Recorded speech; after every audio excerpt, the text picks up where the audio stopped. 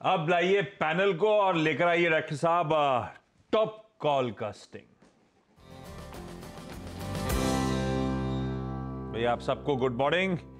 शुरुआत कर दी जाए ओवरनाइट स्टडी के बाद जो एक्सपर्ट एक एक बेहतरीन आज फ्राइडे के लिए पिक लेकर आए गाबा सर चाल चाल पहला पिक आज का कौन सा सर? बिल्कुल गुड मॉर्निंग सभी को गुड मॉर्निंग। आज का जो पहला पिक है, वो टेक्नोलॉजी पैक से है, वो है एच सी एल टेक उसका रीजन ये है कि बहुत अच्छा अपमूव मिला हुआ एक साइडवेज जोन था। कल के लास्ट एक घंटे में काफ़ी अच्छा अपमूव मिला। ट्रेड करा है 1667 पर स्टॉप होगा 1660 सिर्फ़ सात रुपए का। स्ट्रक्चर के हिसाब से जो मूव मिला है, जो बार बना हुआ है, उसके हिसाब से लगता है सत्रह सौ तक जाना चाहिए। तो रिस्क रिवॉर्ड तो फेवर में है ही। तो ये ध्यान देना चाहिए एच सी एल टेक में आज। Okay H C L tech ये गई गाबा सर के पेक का शिल्पा जी गुड मॉर्निंग शिल्पा जी आपकी ट्रेड जी, मेरा ट्रेड रहेगा मैक्स फाइनेंशियल में। मैक्स फाइनेंशियल रोल ओवर्स भी बहुत हाई हुए हैं और यहाँ पे स्टॉक एक अपसाइड ट्रेंड में भी क्लोज भी दिया हुआ है। तो अराउंड 970 ट्रेड कर रहा है। मुझे लगता है ऑन एवरी डिक्लाइंस टूवर्ड्स 950 आपको बाय करना चाहिए। 935 का स्टॉप लॉस यहाँ पे मुझे लगता है थाउज़ेंड थाउज़ेंड ट्वेंटी के आपके फ़र्स्ट टारगेट्स के जोन्स रहेंगे। इसके ऊपर भी मुझे लगता है ये सीरीज़ में ये थाउज़ेंड फिफ्टी से थाउज़ेंड सेवेंटी के लेवल्स के लिए डेफिनेटली एक बार अप्रोच लेगा। मैक्स फाइनेंशियल्स रडा पर रखिए। गिरावट में खरीदारी करने का शिल्पा जी का मन। मानस हाय गुड मॉर्निंग आज का top call good morning Ashish ji good morning Anuj ji good morning everyone तो देखिए श्रीराम फाइनेंस में खरीदारी करने की राय रहेगी क्योंकि यहाँ पर आ, कल मॉर्निंग में आ, तो एक छोटा सा करेक्शन देखने को मिला लेकिन stock twenty day moving average के नीचे से बाइंग देखने को मिली स्टॉक में। और पैटर्न जिस तरह के बन रहे हैं, उसको देख के लग रहा है कि शायद स्टॉक तैयार है एक फ्रेश ब्रेकआउट के लिए। तो श्रीराम फाइनेंस में खरीदारी करने की राय रहेगी। ट्वेंटी थ्री एटी फोर ये कैश लेवल्स हैं। तेईस सौ चौरासी का आपको स्टॉप लॉस लगाना है और पच्चीस सौ पचास ट्वेंटी फाइव फिफ्टी के आपको टारगेट सेट करने हैं श्रीराम फाइनेंस में। ये दोनों ही कैश लेवल्स हैं।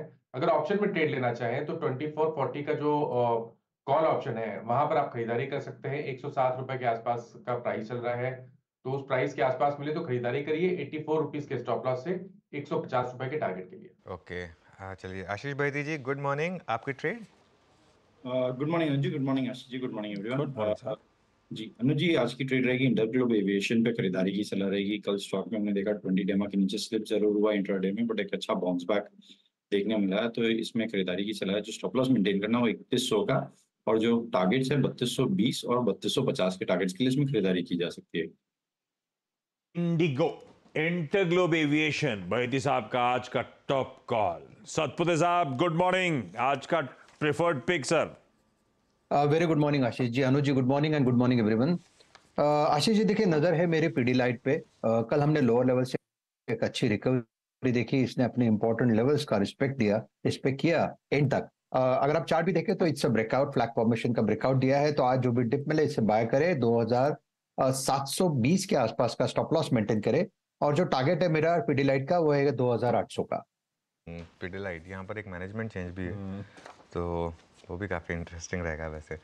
प्रशांत सावंत हमारे साथ हैं। प्रशांत जी गुड मॉर्निंग बताइए आपकी trade ji Anuj ji Ashish ji good morning good morning to the panel और सभी दर्शक एक छोटा सा लॉजिक शेयर करना चाहूँगा क्यों ट्रेड ले रहा हूँ। जो भी इलेक्शन ईयर होता है उसका जो मार्च का महीना होता है वो काफ़ी ट्रेंडेड होता है और इसमें लीड करता है बैंक निफ्टी ये मैं 2004, 9, 14 और 19 के डेटा के बेसिस पे बोल रहा हूँ।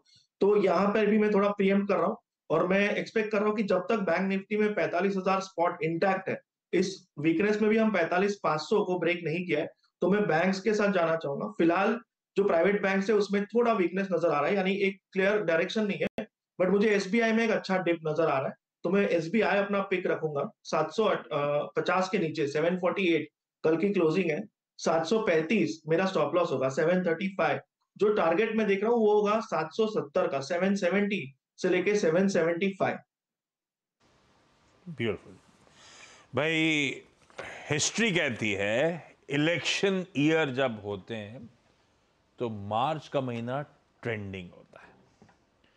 और उसमें भी निफ्टी बैंक आउट परफॉर्म करता है। चर्चा भी कर रहे थे हम, मार्च का महीना शायद इस बार भी बढ़िया होने के समीकरण बैठ रहे हैं। ले डेटा भी जस्टिफाई कर रहा है। हिस्टोरिकली ऐसा हुआ भी है। दमखम इस समय प्राइवेट में नज़र नहीं आ रहा, सरकारी में नज़र आ रहा है तो सरकारी में दिग्गज एसबीआई के साथ सावन साहब जा रहे हैं। आज रिलेटेड सारे बढ़िया से पिक स्क्रीन पर आ चुके हैं। पर अहमदाबाद चलते हैं पार्थिव शाह के बाद जानते हैं ट्रेकॉम में अगर कोई रिटेल इन्वेस्टर आता है आजकल कि पार्थिव भैया एक ऐसा फंडामेंटल स्टॉक खरीदवा दीजिए जो गजब कर दे तो ये कौन सा रिकमेंड करते हैं? पार्थिव, क्या बोलते हैं उसको आप लोग? गुड मॉर्निंग आशीष जी। अनु जी, हमारे पैनलिस्ट और व्यूअर्स देखिए, हमें लग रहा है कि एक सेकेंडरी स्टील एक ऐसा सेक्टर है, जहाँ पे अभी के तारीख वैल्यूएशन बहुत ही अट्रैक्टिव है और आगे जाते प्रोस्पेक्ट्स बहुत ही अच्छे हैं। तो उसमें मुझे लगता है गोदावरी पावर इस्पात एक ऐसी कंपनी है, जो आज की तारीख में दस हज़ार करोड़ का मार्केट कैप है। बैलेंस शीट पे कोई डेट नहीं है 700 करोड़ की कैश पड़ी हुई है, जिसको बहुत अच्छी तरह से कैपिटल एलोकेट कर रही है ये कंपनी और ट्रेल मल्टीपल पे देखे तो 11 का प्राइस टू अर्निंग मल्टीपल है और ईवी e एबिटा के फ्रंट पे साढ़े छह का ईवी e एबिटा है। तो मैं काफ़ी पीयर्स के साथ देख रहा था तो रिलेटिवली ये कंपनी काफ़ी चीप है।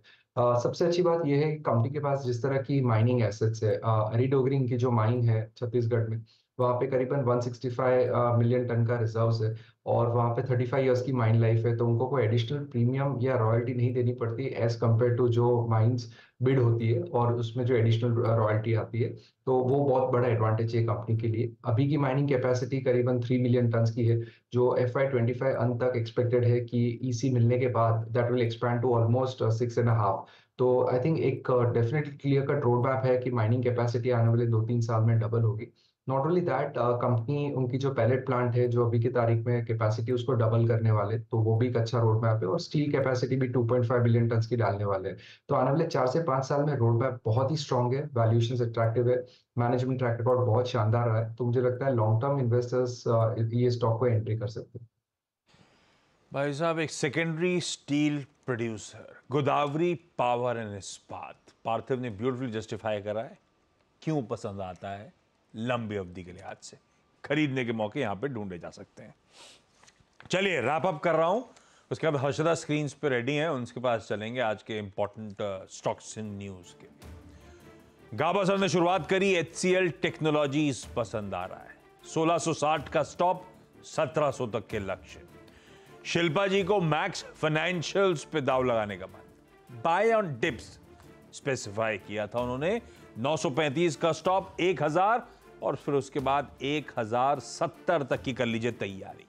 मानस कर रहे हैं, श्रीराम फाइनेंस कैश में खरीदारी कर रहे हैं तो 2384 का स्टॉप है 2550 के लक्ष्य है।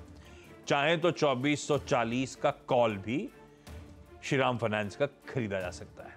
बहती साहब को इंटरग्लोब एविएशन पे दाव लगाने का मन। कल अच्छा मूव्स के साथ दिन के हाइस पे बंद भी हुआ है। 3100 का स्टॉप है 30 टू 20 30 टू 50 के टारगेट्स सतपते साहब पिडलाइट पे दाव लगा रहे हैं, जहाँ पे एक मैनेजमेंट रीजिक का अनाउंसमेंट भी आता हुआ। 2720 का स्टॉप 2800 के लक्ष्य। सावंत साहब बैंक मार्च में रडार पे रख रहे हैं और उसमें इस समय की सबसे प्रिफर्ड पिक है एसबीआई जिसमें ट्रेड लिया जा सकता है। 735 का स्टॉप है 770 775 तक के लक्ष्य है। और फंडामेंटली कुछ पिक एंड चूज़ करना है। तो ट्रिकॉम और पार्थिव मानते हैं कि इन लेवल्स पे गिरावट में गोदावरी पावर एंड इस्पात लंबी अवधि के लिए एक्यूमुलेट किया जा सकता है।